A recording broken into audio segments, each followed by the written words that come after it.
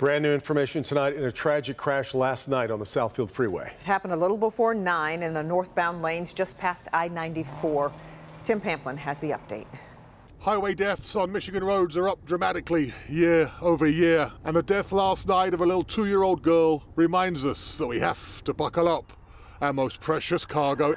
It was last night along the Southfield Freeway. A mother, suspected to be drunk, got into a crash with another vehicle.